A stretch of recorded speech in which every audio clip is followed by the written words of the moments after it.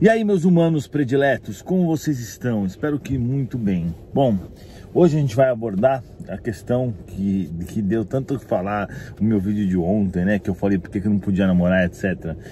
Óbvio que eu também não tô nem aí pra isso, né? Teve pessoas que falaram com você, Eduardo, não se preocupe em se expor, mas o que eu faço? Por que, que eu faço vídeo sobre isso?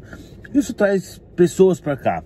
E se pessoas vierem assistir o vídeo porque acham um nome engraçado ou porque acham uma história legal, que aconteceu não sei o que, da vida espiritual, da vida amorosa, elas vão fazer a reforma íntima? Ótimo, é isso que eu vou fazer. Eu não estou preocupado com o que vão pensar de mim, com o que as pessoas vão me julgar ou não.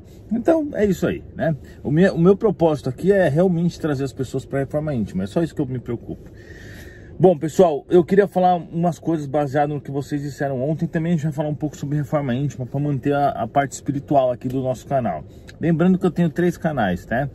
Esse aqui que é o Espiritismo Raiz, o maior canal espírita do mundo. Uh, o canal que chama Veja se você tem coragem, que está aqui no link. Um outro canal que chama Minha Vida em Sírios, que em breve a gente vai colocar lá a entrevista com o extraterrestre e tudo mais, tá? Então, tudo bem. O que eu comentei ontem para vocês é que eu vi que eu não tinha como namorar, etc, por causa do espiritismo. Teve gente que achou que a minha ex-namorada, né, já é ela tinha agido de forma errada comigo, com certeza não. Ela é uma pessoa maravilhosa, um espírito extremamente evoluído, uma mulher inteligente, uma mulher bonita, uma mulher boa, uma mulher espírita, seguidora do canal, não me atrapalhou em nenhum momento, zero atrapalhou zero. Em, nenhum, em, em, todos os pontos. Deixou eu fazer minha, minhas partes do espiritismo tudo normal. Deixou eu trabalhar normalmente. Não me atrapalhou em nada. Eu não tenho nenhuma reclamação para fazer em relação a ela, tá? Uh, mas o que acontece, na verdade? Eu cheguei à conclusão que não tem como eu ter uma relação com nenhuma pessoa porque se eu tiver que gastar meia hora conversando com aquela pessoa, já pode me atrapalhar nas coisas que eu faço dentro da doutrina espírita, que é meu principal propósito. Então, por conta disso, eu prefiro ficar sozinho, entendeu? Porque, por exemplo, eu não estava conseguindo responder os stories, não estava conseguindo fazer mais live, mas não é por causa dela, não foi ela que me pediu nada disso. Mas eu me sentia na obrigação de fazer companhia, porque eu já tava, já tô tendo que trabalhar, porque esses dias, na verdade, eu tô tendo que trabalhar, coisa que eu também já estava parando de fazer por conta do espiritismo, eu tinha optado por não trabalhar mais né?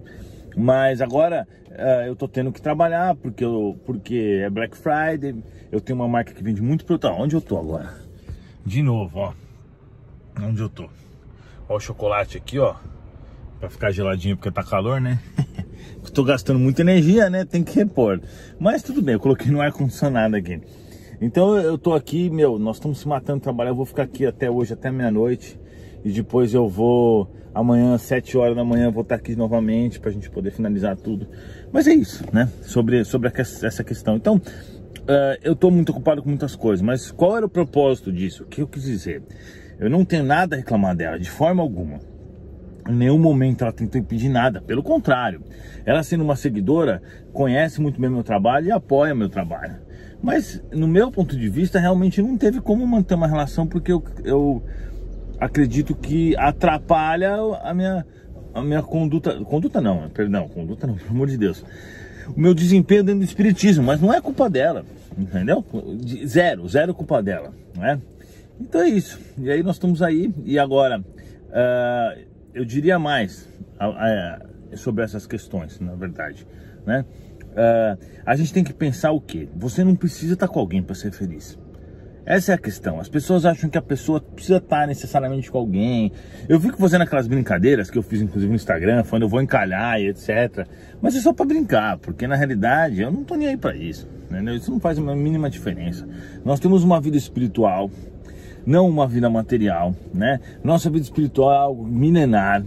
E eu, eu quero aproveitar meu tempo aqui na Terra para fazer o correto. Então eu vou abdicar de algumas coisas, com certeza.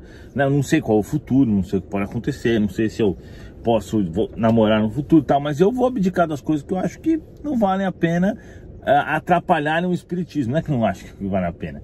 Eu, eu, eu minha opção primordial é essa. Então, para isso, eu vou abdicar disso. Mas é bom também a gente já abordar esse tema de que você não precisa ter alguém para ser feliz. A pessoa que não consegue ser feliz sozinha, presta atenção nisso. A pessoa que não consegue ser feliz sozinha não vai ser feliz com ninguém. Porque não é outra pessoa que vai completar ela. A outra pessoa vai ajudar em algumas coisas, vai melhorar a companhia, etc. Mas é ela que tem que estar satisfeita internamente, feliz sozinha. Senão ela não consegue chegar nesse atingir esta felicidade mesmo com outra pessoa. Então é muito importante a gente frisar isso e compreender isso, tá? Então é isso. Muito obrigado, pessoal. Hoje eu não vou fazer live, que hoje é sexta-feira. Amanhã, provavelmente, eu vou tentar, né? Eu já estou, meu, dormindo pouquíssimo, trabalhando um monte, construindo tudo ao mesmo tempo. O país está complicado, não tem transporte de carga, tá tudo difícil pra caramba. Então eu tô fazendo meu esforço aqui. Né? Fazia tempo que eu não trabalhava. Vou falar para vocês, não é fácil não. Inclusive eu vou fazer um vídeo sobre isso para colocar lá no meu outro canal. Olha que legal, tem uma pedra aqui. É, para colocar lá no meu outro canal. É, sobre tudo que aconteceu na minha vida comercial essa semana. Pra gente ver uma coisa, que quando você quer mesmo, vou, vou completar o vídeo falando isso. Quando você quer mesmo uma situação, você tem que ir lá e cutucar tudo. Se você não for e não mexer teu dedo, e não, não, não pôr a mão na massa em todos os pontos, não vira. Não vira. O que eu fiz essa semana, comercialmente falando, é um milagre. Milagre.